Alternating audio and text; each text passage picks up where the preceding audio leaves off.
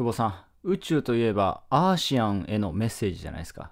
前ね、これいつだ？アーシアンのメッセージ、あの、対談した、対談したのいつだ？これ。アーシャンのメッセージ、対談したのが3年前ですね。2019年9月23日に公開してるアーシャンへのメッセージ、隠された秘密。はい。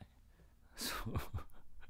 僕はね、アーシャンのメッセージというか、まあ、宇宙のメッセージね、結構紐解いてきたんで、まあ、その話をしたんですけど、もうできました。はい。明日からね、あの、こっそり、これはね、一般に、一般受けの商品じゃないので、マニアックな商品なんで、クローズドでちょっとやるんですけど、マニアック商品ですね。そう。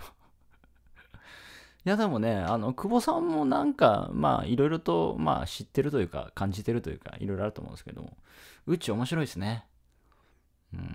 いや、僕はね、もう繋がってるなと本当思いましたね。だって収録した後、ね、まあ、今回の商品名が、今回の商品名が、あの、宇宙とつながるシナプス思考っていうね、宇宙とつながるシナプス思考っていう商品なんですけど、まあ、これを収録して、あの、終わった後、久保さんが宇宙人みたいに来てたんで、なんだこのつながりみたいなね。何なんだみたいなね。つながってるなと思いましたね。いってらっしゃい。